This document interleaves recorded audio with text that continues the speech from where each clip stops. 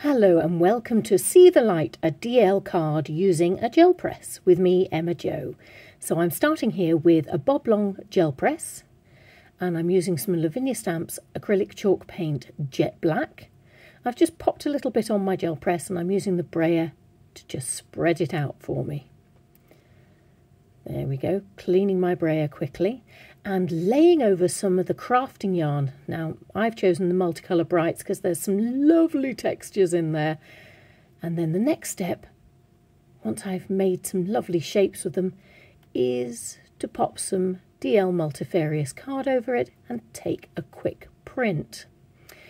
Now, I'm not worried about the fact that one side appears to not have lifted. That's fine, we can work with that. So again, using some of the chalk paints, this is Honeybee. And I've just brayered it all over. And as you can see I'm going to take some of that off and keep brayering. And you can start to see some of the lines of the yarn underneath. And I'm going to take a print using some more DL Multifarious card. Just give it a little massage. And look at this how interesting so I'm going to try and brighten some of that up with some of the Gansai Tambi gel, gem colours using my spray bottle and just adding some water to it. And I'm going with the idea of this being the sky. So I'm using that lovely blue.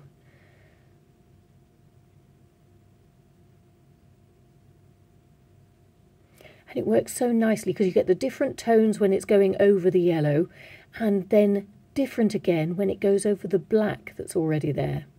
So if we imagine that these lines are part of the landscape, I'm filling in some of the bits with just a touch of green, which is what's so wonderful about these gem colours, is that they just give a hint of a colour. It's not overpowering, it's just working with what's already there from our honeybee.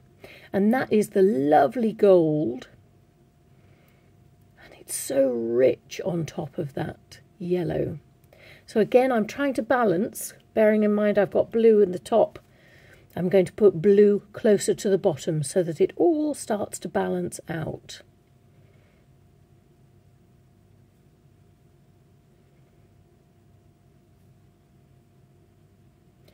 Now this is the lovely gold and if you think that that blue at the top was the sky, then it stands to reason that somewhere along there you'd have the golden sun. And this is what I'm doing. I'm picking out bits that might be hit by some beautiful sunlight.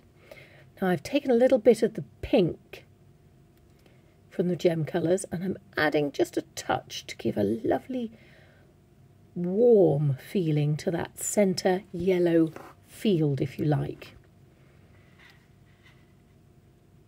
And another touch of green just at the bottom. And look at the way that's starting to lift. So with a little bit of that gold again at the top, where the sun would hit, and it really makes that yellow look so rich. It's wonderful. Now make sure that your work is dry. So give it a quick blast with your Ranger Heat tool before you start adding any accents. And in this case, I'm making one of the ribbons that has a lovely texture to it into a fence with an aqua green Posca pen and then adding some white highlights with a white Posca pen.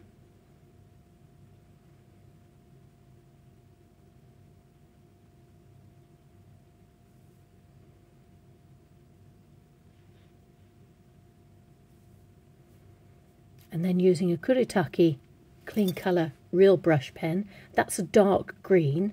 I've just added a little bit of shading underneath. Where you would imagine it would be darker. Now this is an apple green Posca pen and I'm just going to go around one of the fields. Then you've got your aqua green again up near where the sun was hitting the top of that hill.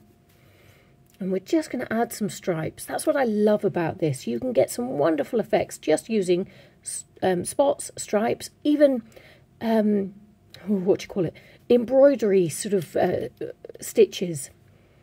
If you imagine you're doing a running stitch or um, chain stitch or blanket stitch, it can be really effective. There we go. So I've done some horizontal lines at the bottom, adding some more aqua green, which just makes everything pop. It's wonderful. It's wonderful. And then we've got some green circles going across that field.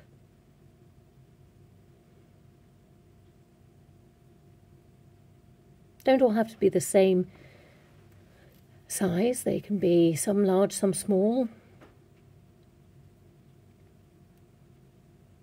Just following the lines that are already there.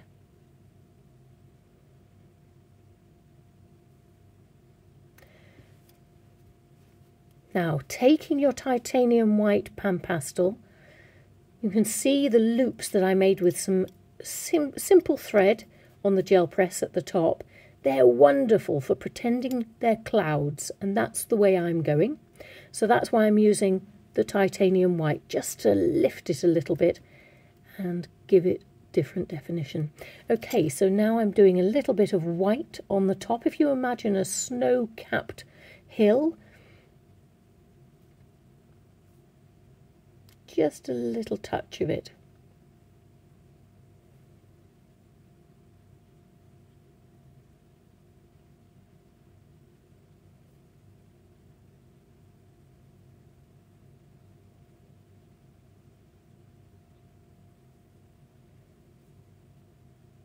And then adding some white to those circles in the hill lower down, going around the outside or in some of them I might do a dot in the middle.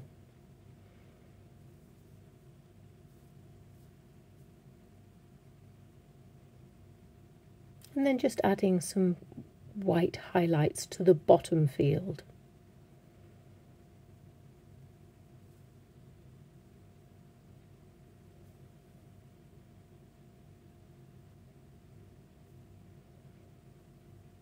Now that, that's me just going back in, making sure those shadows work for me with the Kuretake Clean Colour Real Brush pens, and that's a dark green there.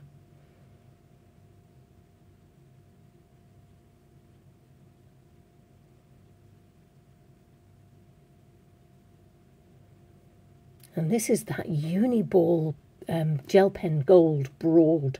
And I'm just adding some lovely gold accents to those circles. So what I love about this is you can keep going. keep going and keep going and keep going until you're happy. And the trick is not to give up.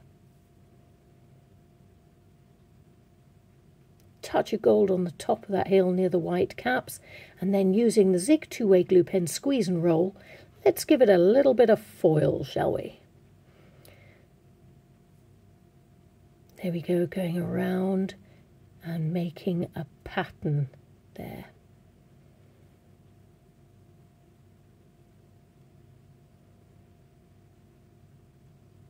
Imagine that's where the sun's going to hit it, so we'll want a little bit of bling. And a little bit of bling at the bottom right hand corner as well by the looks of it.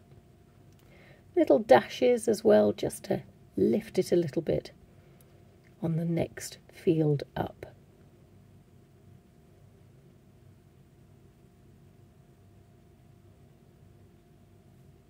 Give it a blast with your Ranger heat tool and apply your foil. And I've gone with that lovely ice blue some gold, and some rose gold. And you can see it catching the light, can't you? It's bringing lifting it all. So there's the gold going on. Wow, I don't know if you saw that, but that sun, the swirly circle that I did, that I'm calling the sun, is really lifting quite nicely. Just adding a little bit more glue around our clouds that we've done. And I'm just adding a little bit of the ice blue fab foil.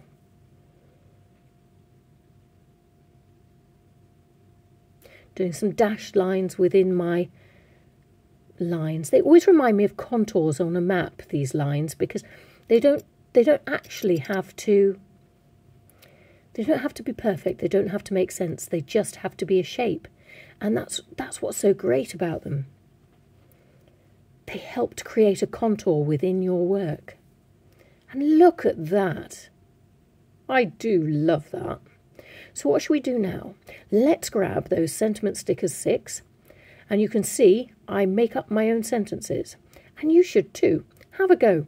So, what have I got here? I've got something about seeing the light. And use your use your lines, your diagonal lines and your, um, if you like, your field boundaries as guides to where to put your words. And you can see